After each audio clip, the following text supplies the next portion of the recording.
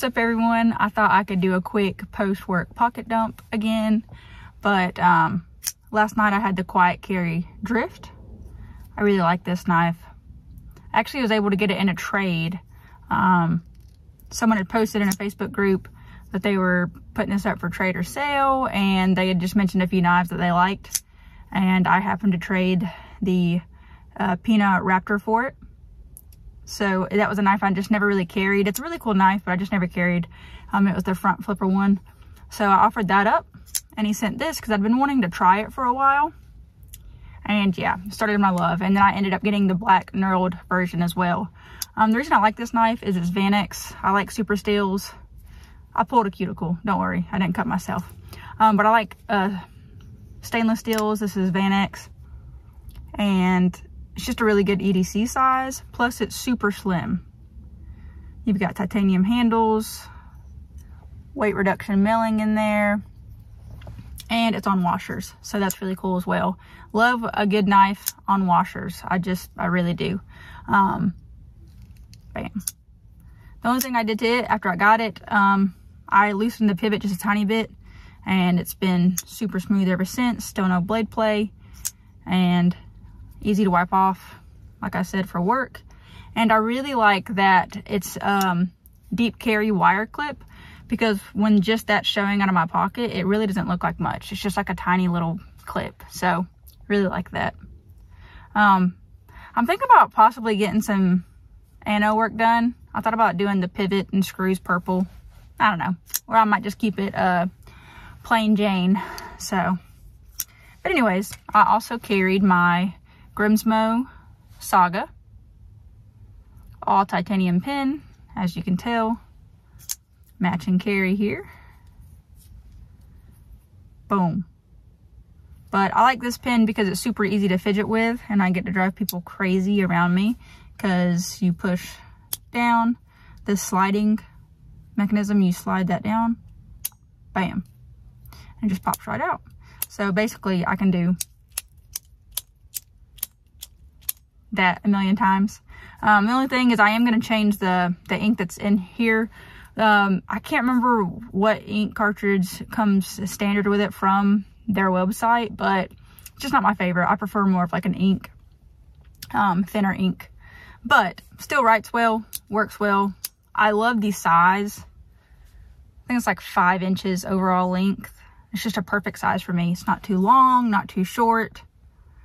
So yeah, once I replace the ink cartridge in this, I think it's to be awesome. But still really like it. And they do a really nice stone wash. And then right here, they have their little logo. This one does not have the logo on top, but um, it does have it on the clip. And sometimes they have, uh, they offer it with the uh, logo on the bottom here too. Um, sometimes people ask me, you know, what's a good way to get Grimsmo products?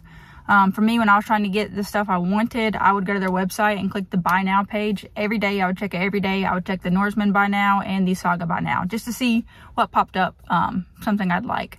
Um, just because with that product and how much money it is, I, I kind of just wanted to go ahead and get it new. Didn't want to take any risk with secondary, so I just saved up for it and then I checked the buy now page every day. But really like these two together. And watch, of course.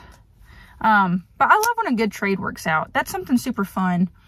You know, if you have a knife you never carry and offer it up for trade or, you know, can work out a nice trade, it's awesome. And this knife came in like pretty much perfect condition. I was super happy with the guy um, that sold it to me because he was honest. He was like, yeah, it's like new in box. And it really was. This is the Stonewash blade, um, which is, they do a really good stonewash. Stonewash handle, stonewash blade.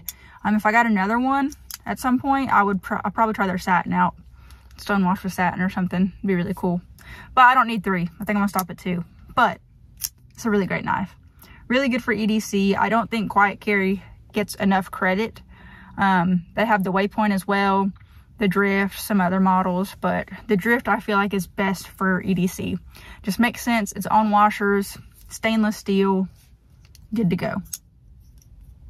Um, and then the only other thing I had in my pockets was this new pen light. My old one died, so I got this mini one, which I like because when it's sitting in my front pocket, it's um, doesn't take up a lot of space. And like that. It's got that warmer light as well. Um, that's not as bad on people's eyes. The only thing is it has a really wide circle circumference, which that's the only thing I would change about it. Um, this is the well tool. I got it off Amazon. I don't know. Um, but the circle's so wide, so when I'm trying to check someone's pupil and come across, I don't, I want it to hit just that one eye, um, because I don't want to see the other eye reacting yet. I take it across and pull it just to check this one eye, um, make sure it reacts, see the size, and then I come over here and check the other eye to make sure they're equal um, and they both do the same thing. So that's the only thing. I don't want, I don't like to hit light on the other eye first because then it's a lot for a knife video, right? Because then um, that's already reacting to the light before I'm showing it again. So that's the only, only complaint about this cool little pin light. Um, this is something, I feel like pin lights are cool in um, bug out bags and stuff like that, or safety bags that you keep in the car.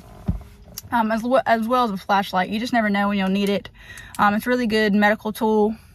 And um, yeah, just I just like it. Like I said, the only thing I would change is maybe a smaller circle of light. But other than that, it's a great size. Really been enjoying carrying it. So, here's the full get up that I carried last night. There we go. I'm curious, do you guys like, uh, so I mentioned trading. Um, I like it when a really good trade works out. Um, and the night prior, I carried my Benchmade bug out to work. And um, that's a knife that I bought in store. So do you like when you buy a knife in store or online better? Um, unfortunately for me, the knife store I used to go to in my town, they stopped having the knives at display there. So I order more knives online. Um, and they didn't have a huge selection. It was mainly Benchmades and some Spyderco's, um, ZT and stuff. But it was so fun for me to buy it in, like in person. I just think that um, knife stores are awesome. When I went to Blade Show, seeing everything in person was so awesome. Anytime I've bought a knife in person, I don't think I've ever resold it. Or I think I've always just kept it in the collection because, I don't know, it's just way more fun to me to see it in person. You get to check right then and there if the QC is okay. Um, I don't know. Like I said, it just makes it more fun. Um, so what do you guys prefer? Do you like shopping online, browsing for better deals like that, thinking about it, watching videos, or do you like just going in a store, seeing what fits your hands, um, and seeing what you're interested in? Um, I really wish there was a really cool big knife store around me, like, you know, Rec or a Blade HQ store, Benchmade, anything. I don't know, just like a big knife store, Smoky Mountain, whatever. I think that'd be really cool.